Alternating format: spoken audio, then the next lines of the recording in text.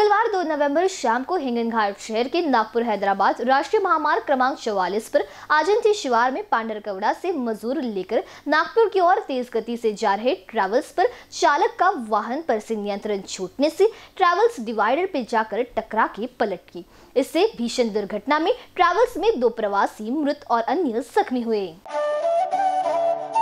दुर्घटना की जानकारी मिलते ही हिंगनघाट पुलिस थाने के थानेदार संपन्न चौहान उप निरीक्षक दीपेश ठाकरे, रवि वानखेड़े आदि पुलिस कर्मचारियों ने घटनास्थल जाकर जख्मी को उपचार के लिए उप जिला रुग्णालय में दाखिल किया। भीषण दुर्घटना की जानकारी मिलने पर विधायक समीर कुनावार ने दुर्घटना स्थल जाकर भेंट दी और जख्मी को उचित उपचार के लिए निर्देश दिए। इस वक्त ट्रेवल्स में 20 से 22 मजदूर पांडरगौड़ा से दीपावली पर्व पर मध्य प्रदेश के अपने गाँव की ओर जा रहे थे। समाचार लिखने तक दोनों मृतक की पहचान नहीं हो पाई। दुर्घटना की नोंद हिंगनघाट पुलिस थाने में की गई है।